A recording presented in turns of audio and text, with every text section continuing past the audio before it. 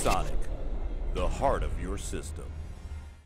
In today's video we are going to test lapping of a CPU and you will probably say I've seen this a million times and obviously a lot of people tested this before and we all know that there is a certain benefit depending on what kind of CPU you're lapping, what kind of condition. So for example this is an IHS of a 7820X which is a CPU that's not soldered.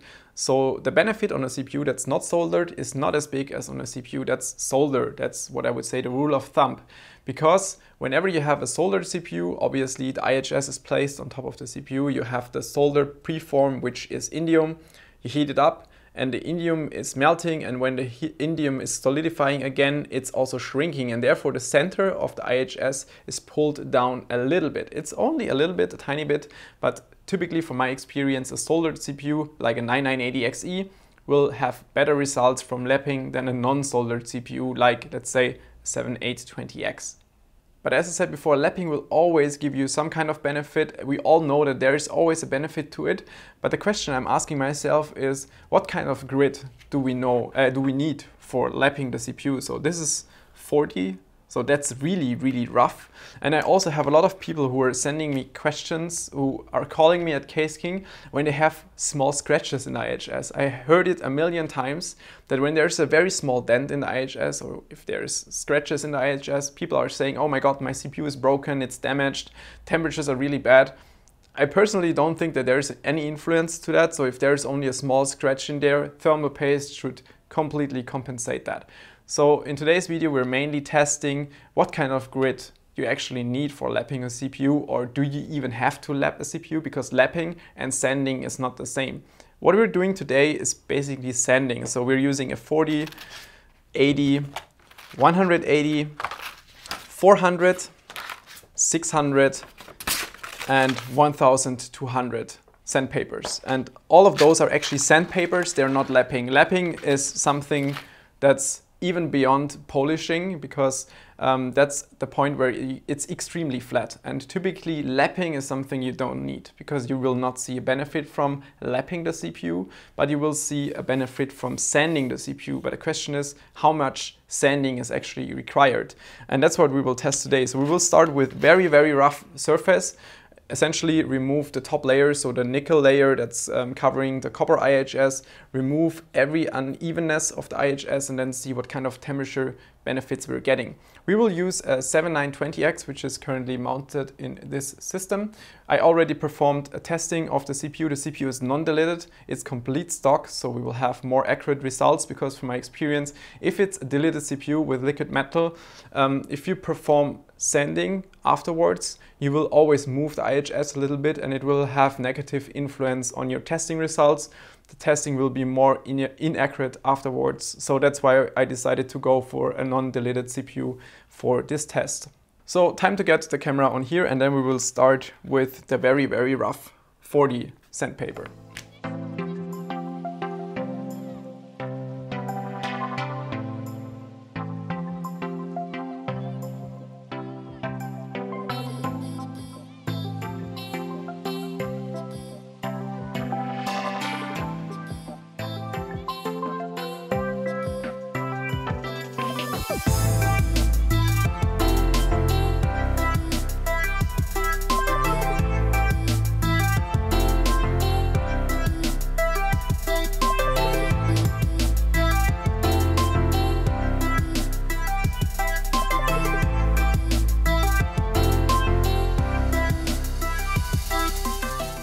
So after almost 40 minutes, I'm back with the CPU and it took much longer than I actually expected. So after I would say 10 minutes, almost all of the nickel surface was gone. Only in the four corners, I could still see some parts of the nickel being left. And for that being removed, it took almost another half an hour, so that's much longer than I expected. And also the surface is really extremely rough now. If I just move across with my fingernail, I can really feel how deep those scratches are inside the CPU. So we're going to test it now again. Test setup is a Rampage 6 Apex, 32 gigabyte memory, Crucials Ballistix. Doesn't really matter for this test and the cooling setup is a 360 custom water cooling from EK. The CPU, as I said before, is not delidded. It's a 7920X. It will be overclocked to 4.4 gigahertz at 1.25 volt, testing with Prime 95, non-AVX Prime, 12K, so very small FFT size for high power consumption at 15 minutes. And after the 15 minutes, we will be back and take a look at the results. I'm back with the first results and the results are really, really interesting. So stock, as I said before, 7920X testing with Prime 95 and then I'm recording the hottest core temperatures, checking what the coldest of the hottest cores is in the hottest core and then the average uh, core temperature across those cores. So minimum we had 77 degrees Celsius, maximum 91 degrees Celsius, 84.25 average, that's stock. Grinded with 40, we're at minimum 81, maximum 93, average 86.16. So actually grinding with 40 makes it worse. Even though it's flatter, we have a lot of deep scratches in the IHS, which surely make things worse, but I expected it to be even worse. So it's only two degrees less with extremely rough surface. So we only lost two degrees Celsius here.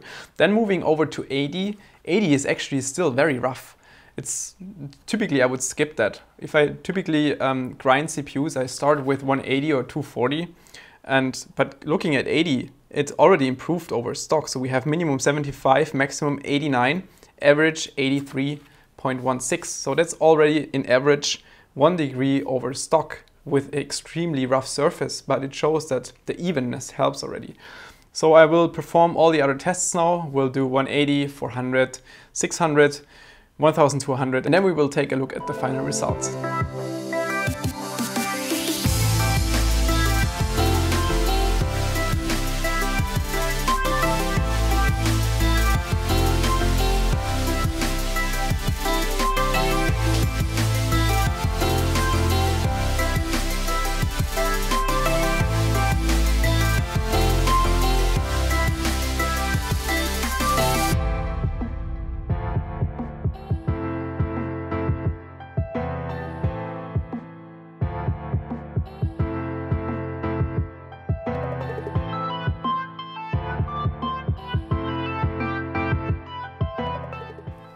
I'm back with the results and the results are kind of as expected. So I grinded from 180 to 400 to 600 to 1200 in the end. So CPU is still alive. The final grind I did with, was with uh, 1200, but let's just go forward and take a look at the results. So with uh, the step from 80 to 180, I could feel that the CPU was getting a lot smoother. So if you just uh, touch the CPU afterwards with your fingernail, uh, go across the IHS, you can feel that the surface is just a lot smoother. Even though 180 sounds still quite rough. And as I said before, typically when I was grinding CPUs, I started with 180 or 240. I didn't even start with something as rough as 40 or 80, but let's just take a look at the results. So moving from 80 to 180, the temperatures did actually not change that much. Minimum stayed at 75, maximum dropped by 1 degree from 89 to 88, and average was 82.8. So we only saved about 0.3 degrees on average, which is really not that much.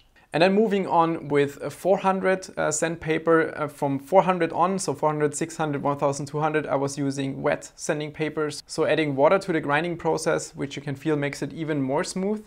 And with 400, I could also see that the surface was beginning to become kind of shiny. So you could actually feel that it was getting really, really smooth afterwards.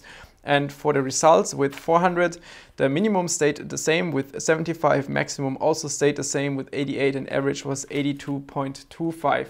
And this shows kind of the direction where we're going that the surface and the roughness at a certain point does not matter that much anymore because thermal paste really compensates most of it.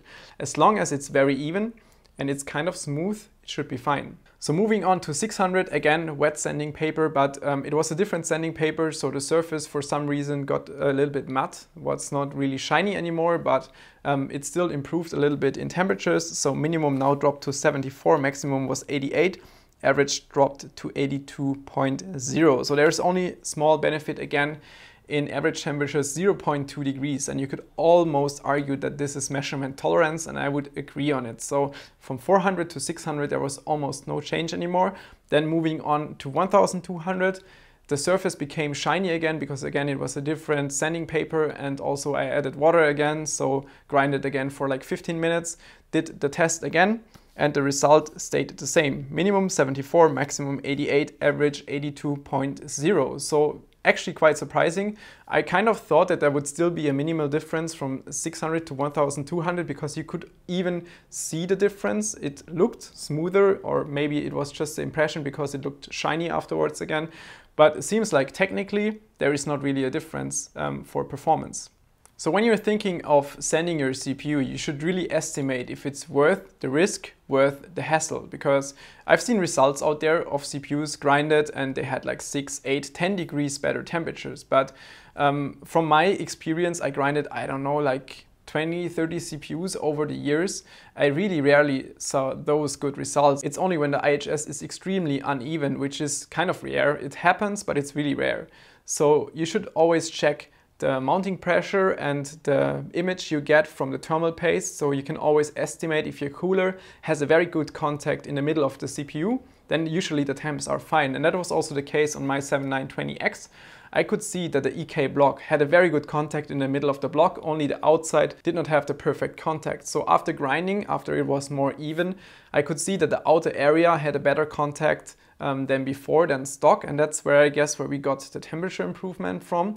But I also saw IHSs out there where the contact was really bad in the middle and the main contact was outside. But that can also be caused by your cooler, right? You never know if your IHS is just uneven or if it's the cooler. You can also always put a razor blade on top of your IHS and check what the IHS looks like. But also keep in mind that the IHS changes a little bit when you put it into the socket because the Intel ILM will put some mounting pressure onto the IHS. It will bend slightly. You will not really see a big difference, but it will bend slightly. So the result in the socket can be different to the result you have on your table when you're checking with a razor blade.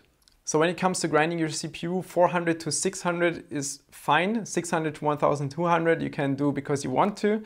But moving on from that, like 2400 and then even lapping, polishing and everything, doesn't really make sense. You will probably not have a performance difference from that, maybe 0.1 degrees Celsius at best, but I wouldn't expect anything. Also keep in mind that you will lose your warranty completely, so if you remove everything that's written on the IHS, nobody will cover your warranty anymore. Even if it's a pre-tested CPU you bought from Caseking, a pre-delidded CPU or whatever, if you grind the IHS, there is no warranty anymore. So always keep that in mind when you're thinking about, uh, about grinding a CPU. Keep in mind or check if it's worth in your case um, to grind the CPU. So let me know what you think about this whole topic, what kind of experiences you had in the past. Maybe you were one of the lucky guys that had a CPU or let's say unlucky guys where the IHS was really uneven and where it was worth it to grind the CPU. But from my experience, typically it's not really worth it. You will on average maybe get two 3, 4 degrees Celsius, not more. Of course, it also depends on the use case. So Prime 95 will give you a higher delta than gaming. Gaming, you will probably see no delta at all. So let me know what you think about it in the comments below. See you soon.